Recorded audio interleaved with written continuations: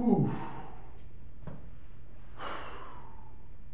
All right, what I'd like to do is I'd like to show you how to solve a literal equation solving for x and y. Now, this is very common in uh, graphing, in uh, solving systems, um, very common a lot of algebraic techniques we're going to do.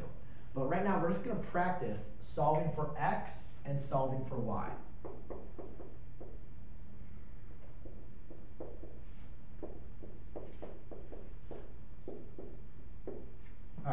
So remember, when we're going to solve for x, we want to get x to equal something. And when we solve for y, we want get y to equal something.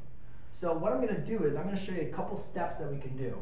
First thing, let's just focus on solving for x. If I have 3x plus 4y equals 15. All right, there's a couple operations that we're going to work with right now. And I just want to work on the four operations, adding, subtracting, multiplying, dividing. And um, for a problem like this, what you guys can see is, what are my two operations that are happening? I have multiplication of my variable times 3, and I have addition of 4y. So when we're, when we're solving for a variable, you always want to undo your addition and your, your addition and your subtraction first. So here, I'm going to want to undo addition of a 4y. Well, the undo addition would be subtraction. So I subtract a 4y on both sides of my equation.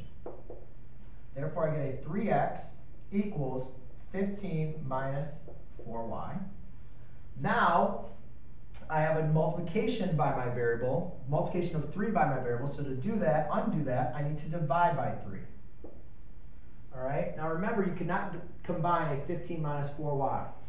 However, I get x equals, and what I'm going to do is I'm going to separate this into two different fractions. 15 divided by 3 actually reduces down to 5. And negative 4 divided by 3, I'm just going to keep as a negative 4 thirds y.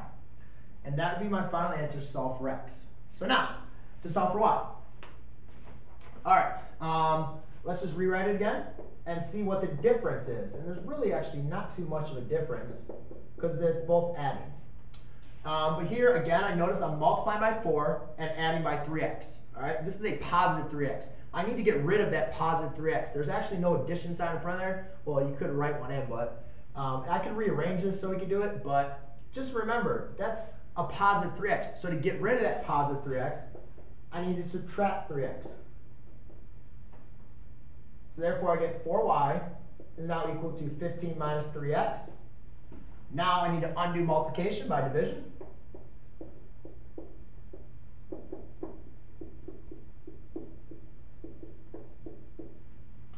Just separate it into two fractions like that. So that's how you solve for x. That's how you solve for y. There you go.